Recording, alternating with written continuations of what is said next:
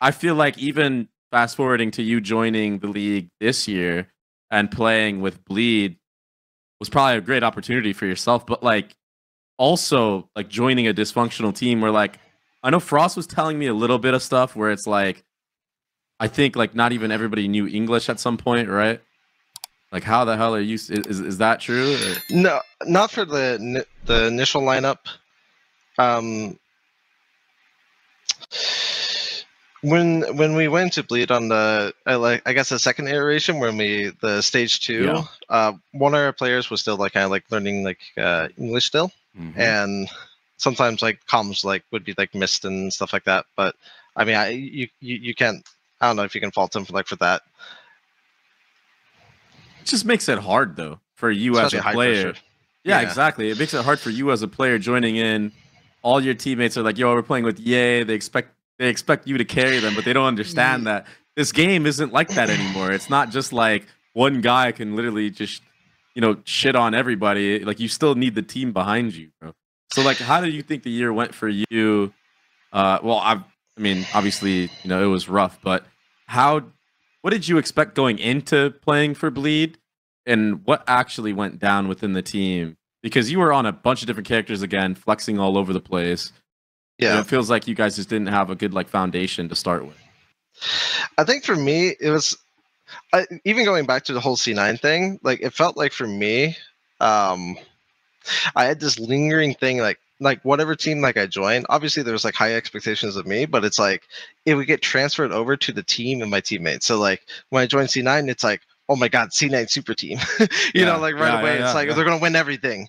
And it's just like, man, like all the expectations are like incredibly high, and it's like anything else other than a win, it's like, oh, these guys are awful, overrated, you know? Like it's like man.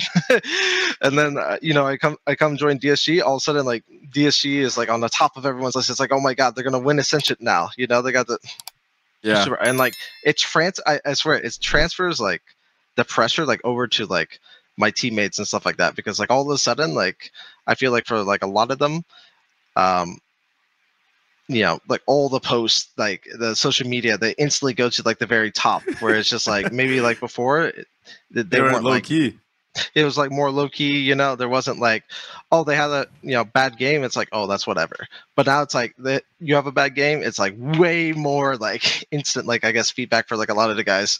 I remember even not to jump all over the place, but when I first like joined Bleed, um, I remember we were like scrimming and stuff like that, and like some of the managers would like come in and it's like it's like yeah yeah uh, look at what all these VLR comments are saying about you. Oh and like God, the team, I'm like, I don't, I don't want to read that. It's like they're all, all these guys are talking so much shit, and it's just like, oh man, I don't, you know, I, you know, I don't want that kind of thing, you know. And it's just yeah. like, and the thing is, it's just like that it's actually weird. Yeah. Ouch. That's how this yeah. community is, though. It's the recency bias. It's like, dude, they love you. They absolutely love you. You're esports player of the year at some point, or you're the schmeeg, you, they hate you, or you're the schmeeg, right? All of a sudden, like, bro, like if, if you have one bad fucking game, I swear to God, while you were esports player of the year, probably still playing for for Optic, you're still yeah. you're probably in the finals. You had one bad map.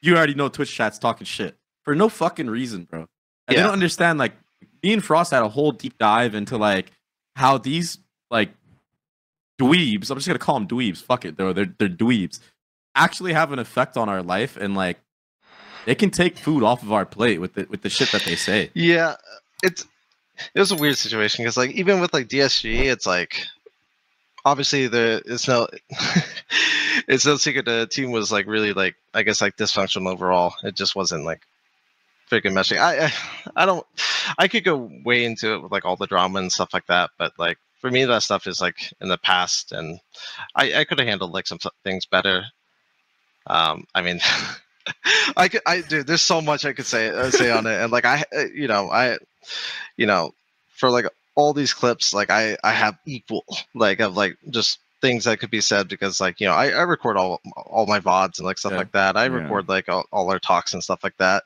and like for me, I don't want to like hold like you know bad moments over people and stuff like that and do that whole thing because like I, I think uh, in the end like no one no one wins in a situation like that. For like, sure. just no one wins